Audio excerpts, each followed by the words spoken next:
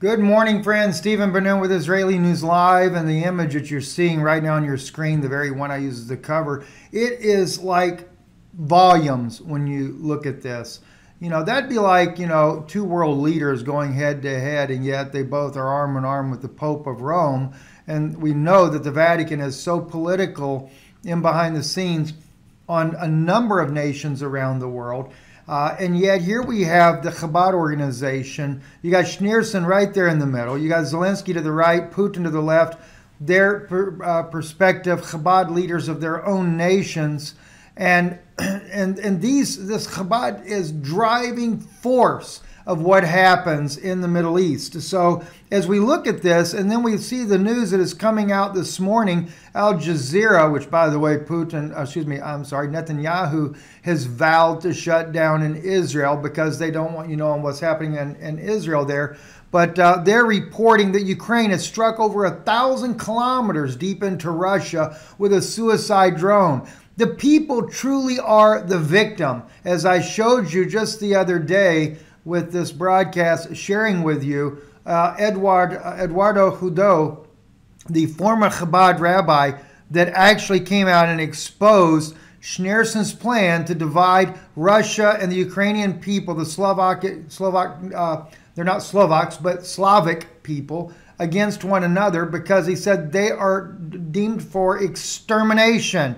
Look at what happened though this morning. Facilities and then you'll realize it's all a plot. And an oil refinery.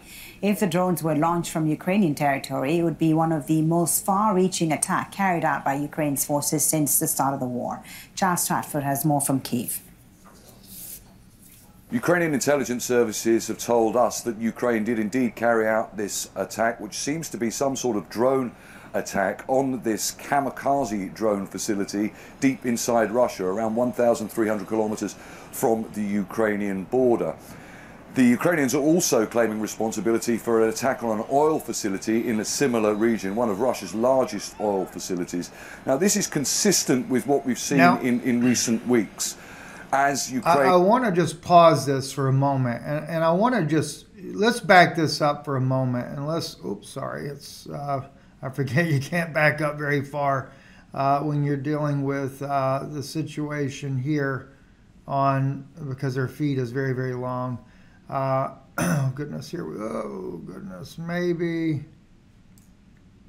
I don't know if we're going to get it. Well, there we go. There it is, right there. I if wanna, the drones were long. There we go. That's what I. Oh, I still messed up. Uh, let me see. Explosion. what I'm trying to get you to see again is the size of the of the plane in the drone attack, and the reason being is because the the point that I want to make out here is that. Uh, what you're looking at when you're looking at the size of this plane that was carried out in this drone attack on Russia, it's the size, of, or it's a drone, but it is the size of a regular plane any nation that has a plane flying unauthorized inside of its country is going to challenge that plane. They're going to shoot that plane down. Well, in the case here of what we're seeing uh, on the news, they're not shooting this plane down.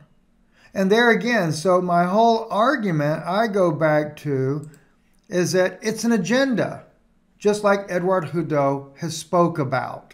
Uh, so you know, listen, you you make up your own mind, and uh, and, and I'll I'll just remind you.